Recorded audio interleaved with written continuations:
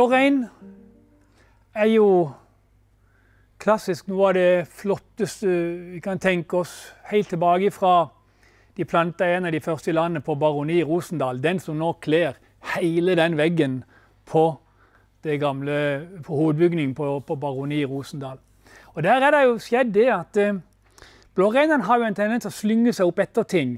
Og der slyngte de seg en gang opp etter takrenna på Baroni Rosendal. Men nå kan jeg love deg at nå har stammen på den her som en gang slyngte seg, blitt rett. Så nå er det taggrener som slynger seg rundt.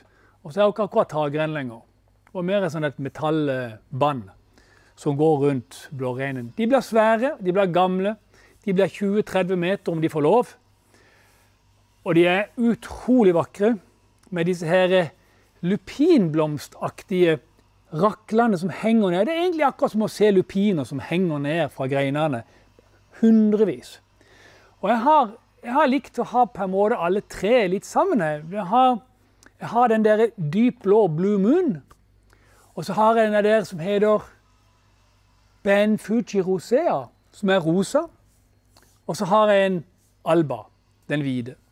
Den hvite har de største blomsterraklene. De er liksom tjukke, lange, store blomster. Ja, det er, det er tre fine sorter av sammen, og de er temmelig hardføre alle sammen. Det som jeg syns er litt gøy med, med blåreinen, er at mange ja, jeg får de til å blomstre veldig fort. Og en gang så, altså Det er jo et sånn et hollandsk ordtak om det som heter 'recht som det hukk'. Og Det går på at eh, hvis du får de til å starte mot høyre, så får du det til å blomstre tidligere. Jeg vet ikke hvor mye som ligger i det. Men det viktigste du kan gjøre med blåreinene når du har de opp etter veggen, det er etter at de har blomstra i juni, mai-juni, og kanskje en gang litt seinere på ettersommeren òg, så vil du se i løpet av sommeren så kommer det noen lange, nye skudd utover.